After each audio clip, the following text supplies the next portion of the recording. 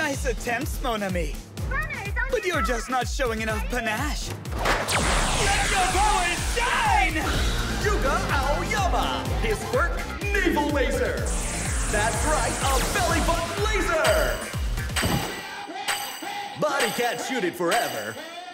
5.51 seconds. Shooting my beautiful beam for more than a second hurts my tummy. What a tool.